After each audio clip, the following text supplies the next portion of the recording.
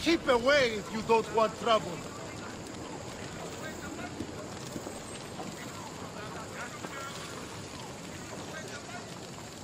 Stay back!